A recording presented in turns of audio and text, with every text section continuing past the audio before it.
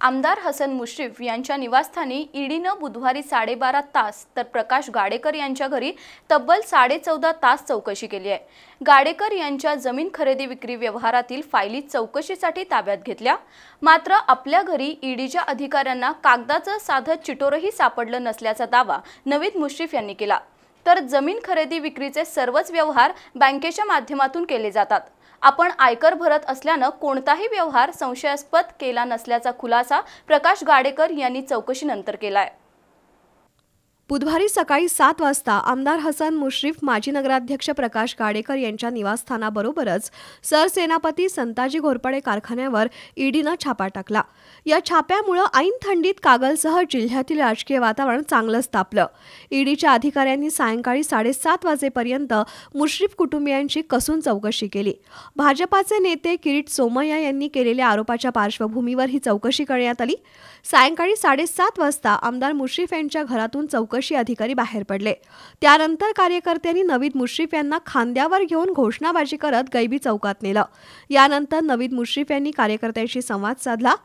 अशा छाप्याला आपण घाबरत नाही. आम्ही शांत आणि योग्य पद्धतीनं उत्तरं देत चौकशी अधिकाऱ्यांना सहकार्य केलंय. राजकीय हेतूनं केलेल्या कारवाईत काहीही आक्षेपार्ह आढळलं नसल्याचा दावा नवीद मुश्रीफ यांनी केला.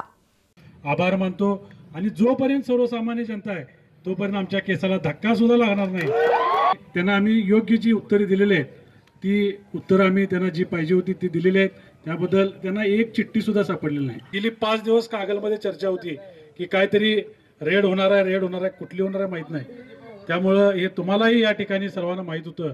परंतु असल्या रेडला बिडला आम्ही घाबरणारे कार्यकर्ते नाही. रात्री साडे नऊ वाजता माजी नगराध्यक्ष प्रकाश गाडेकर यांच्या घरातून ईडीचे अधिकारी बाहेर पडले. यावेळी अधिकाऱ्यांनी आपल्यासोबत गाडेकर यांच्या व्यवसायातील काही फायलींचे गठ्ठे चौकशीकरिता ताब्यात घेतलेत.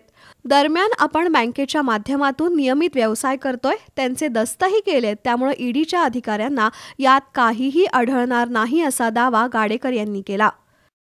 त्यांच्या चौकशीमध्ये माझा हा व्यवसाय हा प्लॉट डेव्हलपरचा आहे. प्लॉट घेणे आणि प्लॉट म्हणून विकणे. आणि त्या प्लॉटचे जे डॉक्युमेंट्स आहेत ती सगळी त्यांनी तपासणी तपासलेली आहेत. सर्व डॉक्युमेंट हे आमचे एक नंबरचे व्यवहार आहेत. म्हणजे कुठेही त्यामध्ये कुठल्या प्रकारचा चुकीचा व्यवहार केलेला नाही. आता गेली तीस वर्षे ह्या समाजकारण राजकारणात आम्ही आहे. सर्वसामान्य माणसाच्यामध्ये जे काय आपण काम करतो आता समर गडगेंच्या विरोधात जास्तीत जास्त ठामपणे बोलण्याचं काम माझ्याकडून म्हणजे योग्य असेल ते होतं टीका म्हणजे काय आपण काय चुकीच्या पद्धतीने करत नाही. परत ते जे बोलतात टीका करतात त्यांना ह्याच्यामध्ये धरून सत्तेचा गैरवापर करून अडचण कसा आणता येईल हा प्रकार समर गाडगेच्या चालू आहे. ईडीची कारवाई संपेपर्यंत राष्ट्रवादीचे कार्यकर्ते आणि समर्थक दोन्ही ठिकाणी थांबून होते. दरम्यान कार्यकर्त्यांनी आक्रमक होत या कारवाईचा निषेध केला. त्यामुळे कागल शहरात काही काळ तणाव निर्माण झाला होता. मात्र पोलिसांनी मोठा बंदोबस्त तैनात केल्यानं कोणताही अनुचित प्रकार घडला नाही.